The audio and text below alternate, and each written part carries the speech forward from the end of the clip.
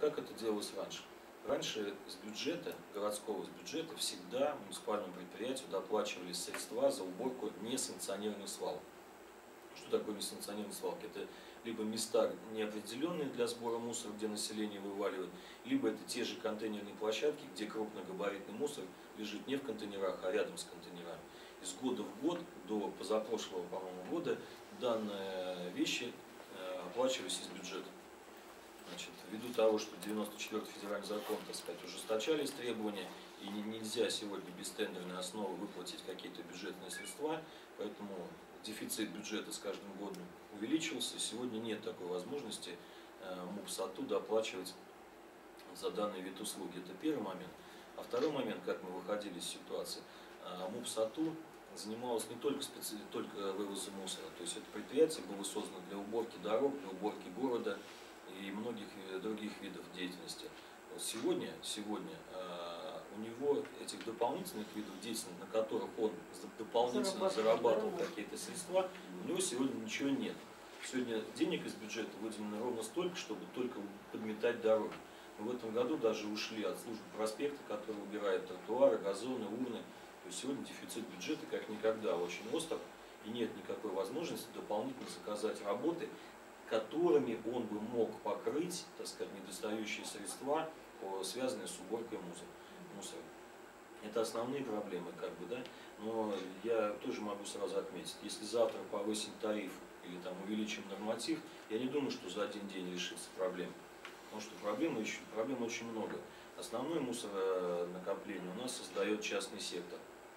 Если несколько лет назад, вспомните, если кто живет в частном секторе, никогда в жизни деревья, э, значит, с погребов все, ботва от картошки, там, навоз от э, деятельности, так сказать, э, животных, никогда это все не выбрасывалось на контейнерные площадки. Посмотрите сейчас, что тащат на контейнерных площадках. Все абсолютно полностью, что так сказать, э, в частном секторе создаются контейнера, стоят для сбора твердых бытовых отходов. Только ТБО. А мы имеем сегодня вокруг контейнерных площадок, начиная от холодильников, заканчивая диванами, навозом, так сказать, э, строительным мусором, который невозможно поднять без специализированной техники, он тяжелый, там эти бетоны, растворы и тому подобное. То есть на это нужны не мусоровозы, а нужна специализированная техника, то есть самосвалы, фронтальные погрузчики, дополнительные люди, которые могли бы эту работу осуществлять. Данной техники в, данном, в этом предприятии сегодня нету.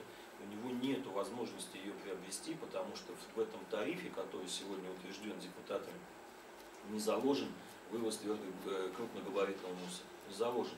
Предприятие сегодня не может развиваться. То есть мы загоняем предприятие, так сказать, к банкротству, подводим четко.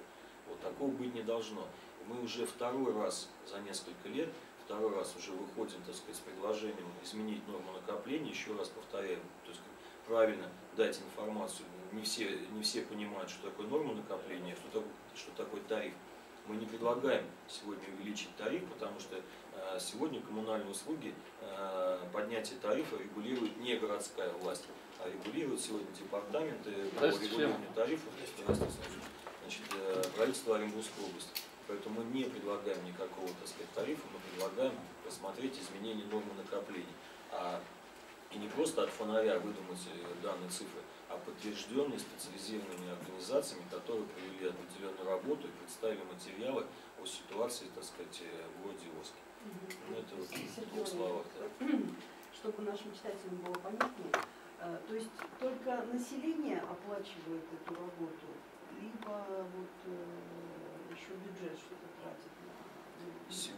бюджетных денег ни копейки, я вам с самого начала сказал, ни копейки не выделяется на уборку мусора, ни копейки. Сегодня Это в этом году? Последние, последние, вот три, последние три года вот эта ситуация, поэтому, когда начала ухудшаться. стало заметно, да. да. То есть что мы погрязаем. У нас э, вот есть районные администрации, которые как бы курируют в основном частный сектор, да, у ЖКХ не отвечает на частный сектор. И районным администрациям ежегодно в течение, так сказать, последних нескольких лет выделялись средства именно на уборку несанкционированных свалок. То есть последние несколько лет данные средства не выделяются. А также я повторю, что раньше и САТУ из бюджета выделялись какие-то средства там, из резервного фонда там, или дотации а какие-то. А в этом году перестали? Уже третий год не получают они ничего. да. год, То есть живут только за счет тарифа. Одна из основных проблем, что начисления настолько незначительные сегодня за мусор, и третья часть населения частного сектора не оплачивает эту услугу.